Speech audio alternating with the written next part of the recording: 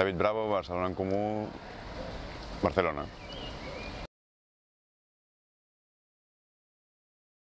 La organización de Fearless Cities en Barcelona para mí es un paso adelante en la creación de una red cosmopolita de, ciudades sin miedo, que, tengan ganas de trabajar codo con codo para hacer eh, presión, para compartir conocimiento, pero también para hacer presión a instancias supramunicipales, a organismos europeos, internacionales, eh,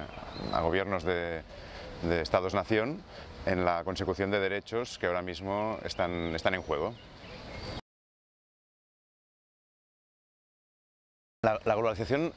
es un proceso muy abstracto, muy complejo, eh, difícil de, comprender, pero que al, fin, al final siempre acaba manifestándose en la, en la, escala local, en el cuerpo de las ciudades, y es el lugar donde se hace tangible y donde se puede eh, comprobar con mayor aspereza ¿no? sus efectos. Por eso mismo es importante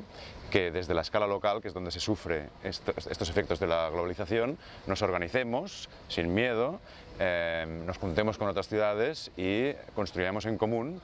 eh, un nuevo paradigma democrático en el que todos estos derechos, como el de la vivienda, el de la movilidad, el del acceso a las oportunidades económicas o el de la discusión y la coproducción de, la forma en la que queremos vivir, pueda ser más, más democrática y al alcance de todo el mundo. Bueno, estamos en una época en la que el Estado-Nación eh, está en absoluto descrédito, eh, no solo se muestra incapaz de responder a, estas presiones globales del mercado eh, descontrolado,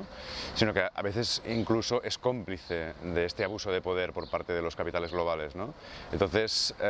para mí, la escala local, la escala municipal, es la mejor escala para resolver los, dos principales problemas que tenemos ahora mismo en el mundo, que son un problema de convivencia y un problema de supervivencia. La convivencia se expresa en la injusticia, en la desigualdad, en mm, los atentados contra la libertad de expresión, contra la libertad de prensa, ¿no?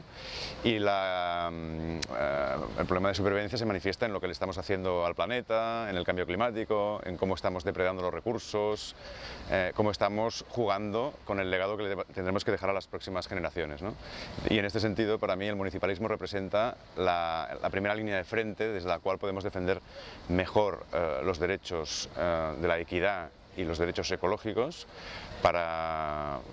dejarles a las próximas generaciones un mundo mejor y para poder vivir mejor juntos en este espacio de convivencia por antonomasia que es la ciudad.